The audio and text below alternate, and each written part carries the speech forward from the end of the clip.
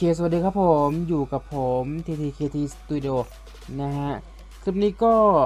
จะมาเปรียบเทียบให้ดูว่า Legendary กับ Legendary Carry Over นะครับผม มันมี Carry Over มากับตัวตำนานเก่านะนี่ตรงนี้เลย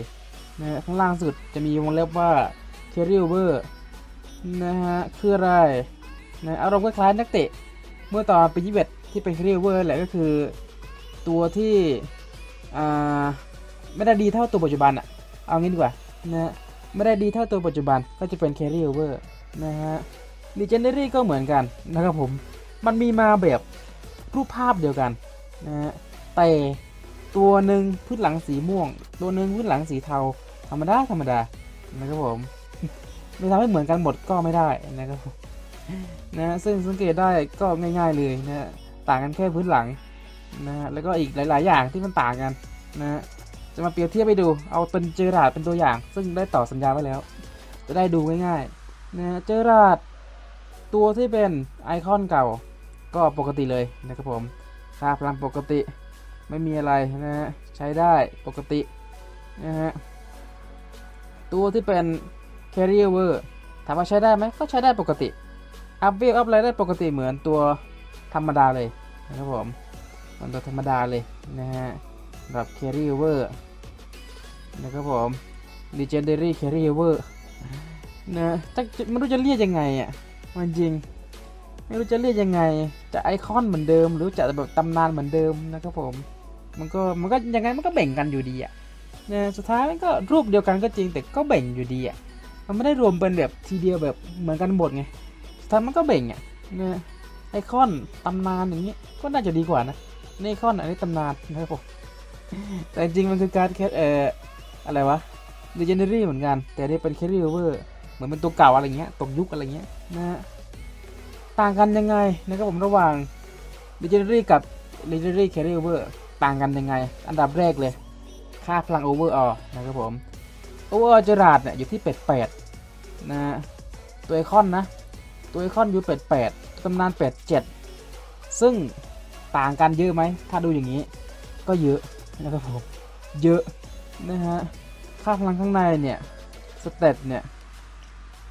ก็จะดีกว่าตัวตำนาน ทุกอย่างเลย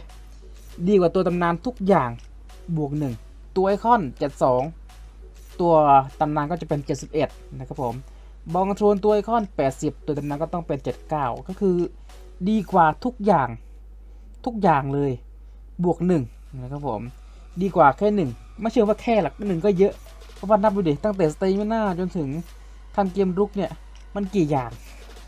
มันกี่อย่างแล้วมันบวกหนึ่งแบบปุ๊บปุ๊บปุ๊บมาอย่างเงี้ย มันดูเยอะนะครับผมนะฮะโอเคอันนี้คือความแตกต่างนะครับผม overall stat ต่างกันแน่ ตัวไอคอนดูดีกว่าอย่างชัดเจน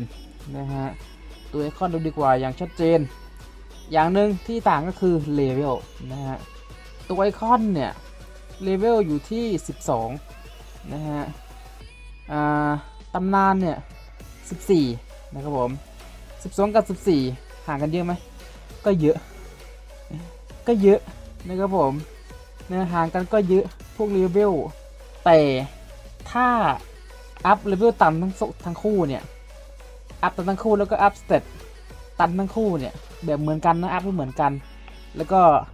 Legendary เนี่ยก็จะมีเหลืออีกก็อัพอัพเข้าไปอีกนะครับผม อัพยังไงก็ยังสู้ไอคอนไม่ได้ จริงๆ อัพยังไงก็ยังสู้ไอคอนไม่ได้นะฮะมันจะห่างกันประมาณ2นะครับผม ถ้าไอคอนเนี่ยเวลตันที่ 96ตำนานก็จะอยู่ประมาณ 94 95 ประมาณนี้ อาจจะไม่ถึง 95 ด้วยซ้ำนะครับผม ถ้าตำนาน 96 นะ ตำนานอาจจะไม่ถึง 95ด้วยซ้ำนะฮะซึ่งตัวเกมเนี่ยได้ตั้งไว้แล้วว่าการ์ดตำนานเนี่ยจะไม่ได้ดีไปดีกว่า Legendary แน่นอนนะครับผมไม่ได้ดีกว่าแน่นอนนะฮะขึ้นชื่อว่า Carry Over นะครับผมขึ้นชื่อว่า Carry Over นะฮะไม่ได้ดีกว่าแน่นอนนะฮะถ้าอัพเหมือนกันนะถ้าอัพเหมือนกันนะครับผมถ้า up team style ก็ up เท่ากัน stat ก็ up แบบเหมือนเหมือนกันนะครับผม ถึงตัวตำนานจะมีอ่าพอยอัพเยอะกว่าก็เถอะ แต่ไม่มีทางครับพลังขึ้นสูงไปกว่าไอคอนแน่นอนนะไม่มีทาง ยังไงก็ไม่มีทางผมลองแล้วนะครับผมนะอารมณ์เหมือนคาซิยาสอะคาซิยาสอะไหนวะ เดี๋ยวให้ดูคาซิยาสอยู่ไหนคาซิยาสอยู่ไหน โอ้บทจะหานี่หายากเหลือเกินนะหายากเหลือเกินโอเคคาซิยาสตัวนี้ คือตัวไอคอนอัพแล้วได้ 100 นะฮะ100 คือบูทเลยนะ บูทในทีมแล้ว 100 แต่ถ้าเป็นตัวเนี่ย carry over ไม่ถึง 98 ได้เยอะสุด 98 บางที 97 ด้วยซ้ำนะครับผม 97 ด้วยซ้ำนะเลเวล 9 อันนี้ ไอคอนก็ 8 ไอคอนน่าจะเวล 8 เห็นไหมนะ ถึงเลเวลไอคอนมันจะดูน้อยไปกว่าอ่าตำนานก็จริงแต่ตำนาน up ตันแค่ไหนก็ไม่สามารถสู้ไอคอนได้ ถ้าแบบเดียวกันนะครับผม ถ้าแบบเดียวกันทั้งหมดนะไม่มีทางสู้ได้เลยนะก็ตัดสินใจเล่นไม่ยากแต่ผมอะวีราเนี่ย ไม่มีไอคอนนะเลยต้องใช้ตำนาน แต่ตำนานถือว่าใช้ได้เลยนะครับผม ใช้ได้เลยนะสำหรับวีราโอเค อันนี้คือข้อแตกต่างระหว่าง 2 การ์ดนี้นะระหว่าง 2 การ์ดนี้ ก็คือ Legendary กับ Legendary Carry Over นะครับมี Carry Over ตามหลังนะฮะโอเคนะฮะแต่ก็ดีนะ มันดีทั้งคู่แต่ถ้าถ้าเลือกว่าดีกว่าก็ต้องเป็นไอคอนดีกว่า ดีกว่าแบบไม่ต้องเถียงอะ่ะ คือดีกว่าแบบไม่ต้องเถียงอะ่ะแน่ๆอะนะ ซึ่งค่าพลังมันเหมือนกันและไอคอนบวกหนึ่งทุกอันแค่นี้ก็รู้แล้วนะฮะเผื่อบางคนแบบเอ๊ะการ์ดไหนดีอะไรเงี้ยอีกอันนึงค่าพลังน้อยกว่าก็จริงนะฮะแต่เลเวลดีกว่าอาจจะอะอะ level ดีกว่าเราอาจจะ up up stat ได้เยอะกว่าอะไรอย่างเงี้ยนะครับผมอาจจะขึ้นมากกว่าไอคอนเงี้ยงั้นไม่ใช่นะครับผมยังไงก็ไม่มีทางขึ้นเกินไอคอนแน่นอน ไม่ถึงแน่นอนนะครับผมถ้าเจอราด90อ่าตำนาน มันก็ต้องอยู่แค่